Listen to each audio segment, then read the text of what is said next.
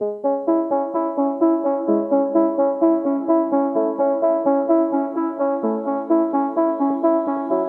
is Seasons of Discontent with your hosts Rick Snider and Matt Combs on the Hogstein Network.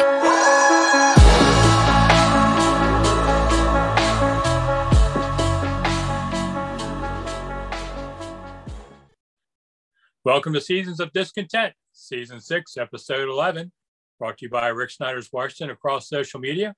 And I'm Rick Snider. And I'm tired. And we're back discussing all things Washington life and sports as part of the Mighty Hogstein Network and on YouTube on the video part. And I guess it's Matt. I don't know. I once Yeah. I say It's Matt. I can't stop, but I usually screw it up anyway. I All just right, try to, I try to say things to make you you break, but I've only done it once. There you go. All right, so we're talking Commanders draft. Uh, a little later than ever, but everybody still wants to talk about it, so why not? And Commanders, I, I got to tell you, man, first two picks, I was like, are they punking people here? They spent a year for this. What are you doing? And then the rest of the draft was okay, but man, the first two picks, everybody was ready to just burn their tickets and say, screw this. It was amazing. Yeah, you did a live show that night. I'm glad I didn't join because uh, you may be banned on YouTube. Um, I, I I don't know, Rick. Look, I understand there's needs on this team, and and you know, you had three studs sitting at 11. And I know Rivera and Marty talked about, oh, well, this is a a middle draft. There's a lot of great players in the middle rounds. So they right there, they they played their hand. You knew they wanted to trade back. Um, but when they picked at 11 before they traded, Olave, Jameson, and everybody's consensus pick for the commanders, Kyle Hamilton, was sitting there. Um, I I just don't understand it. Well, not Jameson, Jameson Williams. I'm sorry. I always have problems with his first name. Um, Detroit today? huh? James, he was sitting there posing with his Lions jersey. He looked like he was one of the prison pictures. It is. guy. You got shunned to Detroit for at least four years. I mean, come on now. Yeah, it looked like a lineup shot. You know, it, it was pretty funny. But anyway, And you know, yeah, look, is Dotson going to be good? I don't know. I can't tell you. I mean, he torched Maryland. I saw him do that. um, you know, the first two picks were just very meh. You know, the second round pick from uh, the DT from Alabama, that's a that's a, a need that you created. You created that need when you didn't re-sign Tim Settle for seven million dollars, when you cut Matt Ioannidis, and you've already pretty much told Daron Payne, "Hey, we ain't bringing you back." So, uh, you know, maybe maybe that gets Daron Payne motivated so that he can go out and get a big contract next year with another team. But you know, I, I just I don't understand. Like you said, you you waste you waited a year for for those two picks. I mean, Dotson might end up being a good player. I know he's fast, but Rick, we don't have a wide receiver over six feet tall. You know, unless you want to count Logan, but Logan's Logan's technically a tight end. Uh, you know, I've always been told you need a tall guy in the in in in the red zone, and I guess they have Cam Sims. He's six four, but I'm sorry, Cam Sims has never proven anything to me. Um, but you know, like I said, Olave was sitting there, Williams was sitting there, and and of course Kyle Hamilton was sitting there, which you still need a safety. The kid that they got in the fourth, it- all the reports coming in on him is he's a special teamer. He's going to be a special teams ace. Well, that doesn't say anything for your starting state safety position. Uh, you know, I, I read a report today that uh, the Giants are are poised to release James Bradberry, and of course, we heard reports that there's thoughts on there's mutual thoughts that Landon might end up back at the Commanders just with a smaller salary. Um, I, I don't know, man. I don't know. This draft just kind of left me scratching my head after the first two days. well, so Dotson, people were going, oh, he could be a 70 catch guy. Here's why he won't. They're not going to throw 70 balls to him unless injuries take away things and they have no choice. But he's going to get, I think, in the 40 some range. And it's a little underwhelming when you could have had Olave or, or Jameson Williams. Uh, well, and, uh, you know, so I, there's where your impact is lost a little bit. And then your DT, well, you could have gone a couple other ways. And I, I will say, everybody was wondering what about quarterback in the second round. And man, we saw what happened there. I mean, Carson, uh, Carson uh, Strong went, did not get drafted. I thought he was going to be a second rounder, you know, um, Washington managed to get Sam Howell, who I think is a nice player in the fifth round. That was real value too, I thought, aside all the nonsense drama. Um, so quarterbacks ended up not being anything. I mean, they talk about Malik Willis going sixth overall pick, and he went what the third or the fourth. Yeah. I mean, wow, what a quarterback! Weird draft. Instead, receivers were the hot thing that everybody wanted. Washington could have gotten themselves another ace, and suppose Terry doesn't resign because well, they could franchise him, I guess. But you know, you don't see Terry rushing to sign a deal either. And I everybody's talking about Terry's got to get paid. Well, maybe Terry's and his agent think, you know what, might want to wait till next year. Worst thing happens, you get franchised. Yeah. You know, Washington offer him a better number than the franchise tag, right. which is hard. So, you know, eh, that's an interesting thing too. Why they took Dotson uh, on there. Although Dotson will never be, I think, as good as Terry. Uh, but those first two picks were really weird. And then then they got back in rhythm. I mean, Brian Robinson out of Alabama um, really only had one big year. He was a reserve, but at Alabama, it's hard to play. But I like him a lot between the tackles. You know, I wrote he's kind of a Riggo drill kind of guy. You can feed inside, doesn't drop the ball. You can give Antonio Gibson some other latitude of what he's doing. You know, and then they took a tight end in the uh, fifth, Cole Turner, who's like six six, I think, and has decent hands. That's about it. But they, you know, you don't know what Logan Thomas. I don't know if he's ready opening day. Right. And so you target. And let's not forget Wentz threw more to tight ends than any other quarterback the last five years. So you had to go there. Right. And they lost Ricky Seals Jones. They needed a third tight end. Um, you know, obviously they got Bates, they got Logan. Um, yeah, I, I really like the the tight end pickup, the kid from Nevada.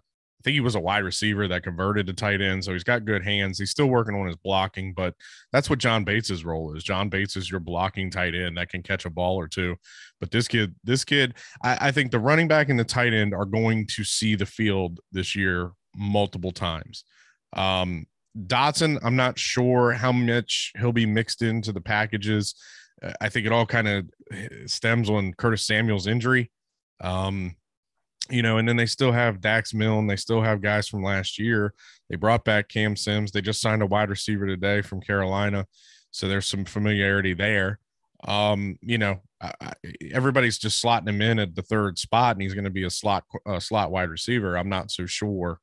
You know, we got to see if he can make the jump. I mean, look, the kid's saying all the right things. I'm not going to dog the kid. He, he he got out of the limo or the Escalade or whatever with a football in his hand. I mean, he's got great hands. We've seen it. Uh, he can he can get separation. He's fast, uh, and I understand that's what they're going for. They're going for speed at the wide receiver position, basically. So when Carson Wentz is running for his life, he can chuck it up and say, "Well, there's somebody there that's going to catch it."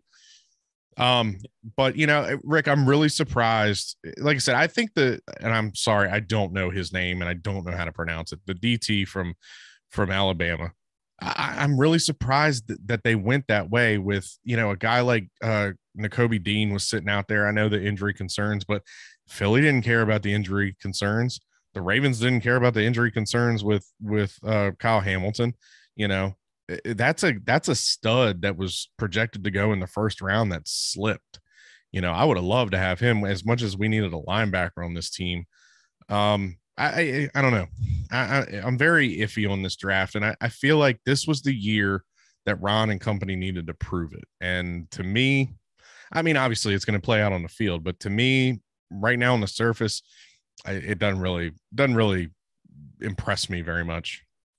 Uh, when we look back five years from now, we're going to look at this draft and go, nothing there. They're really in just some guys. Mm. It might be it might be okay, but there's no impact. There's no guy who's going to the Hall of Fame. There's none of that stuff. Pro Bowl. I don't see much at all.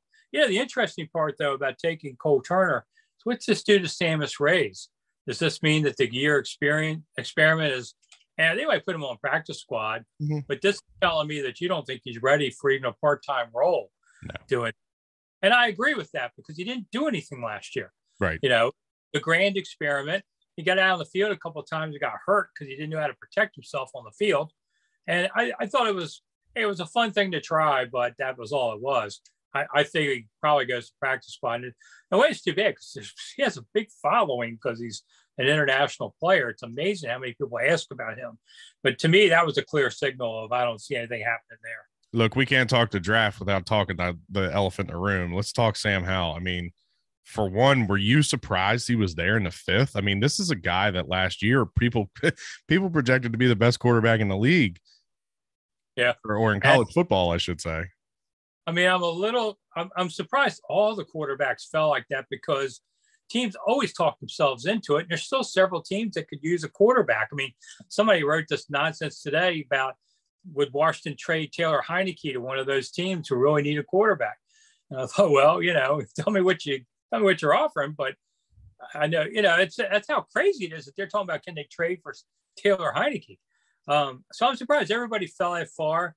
So Howell going to fifth, I thought, oh, Max, I thought he's a second rounder, maybe a third. Mm-hmm. So I, I would take him too. And they go, well, they had to talk to Carson Wentz first. Shut up. You're playing yeah. ball, you're money. Don't worry about the, the rookie. Yeah, that, bo- that bothered me. If you had to talk to Wentz, it's like how fragile is he? And look, I understand. You know, he he didn't get to win the Super Bowl because of Foles, and and he got replaced in, you know, every with uh, uh, um, I guess he didn't really get replaced in Indy, but uh, Jalen Hurts replaced him in Philly too. So you know, I understand, but um, you know, look, I, hey, if the Wentz experiment goes wrong, you know, you don't have to keep him next year and maybe you give Sam Howell a shot. I mean, like I said, the kid was projected before this last college football season. Everybody had projected him to be in the top 10 of the draft, one of the best quarterbacks available. The kid lost both of his wide receivers, both of his running backs, and half of his offensive line, and his numbers really didn't drop that much this season.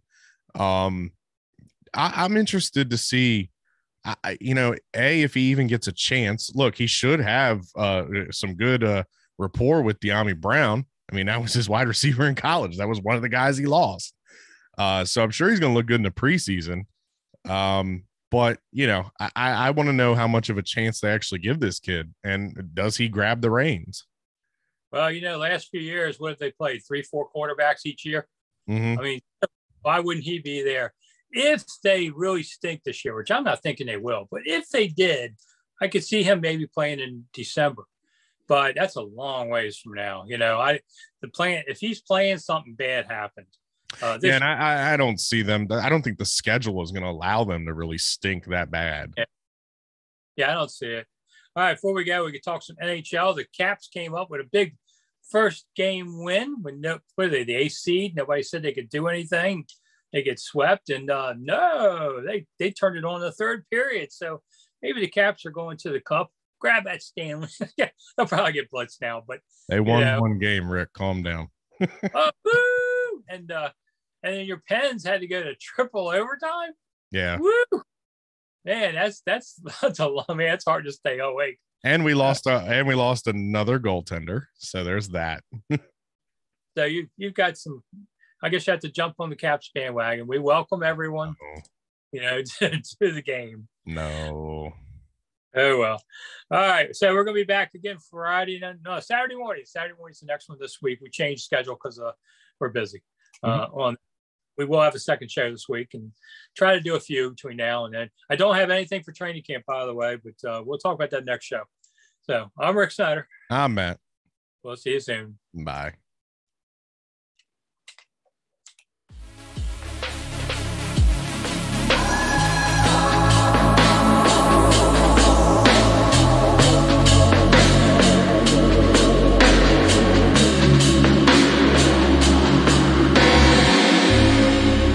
Thanks for listening to Seasons of Discontent on the Hogstye Network.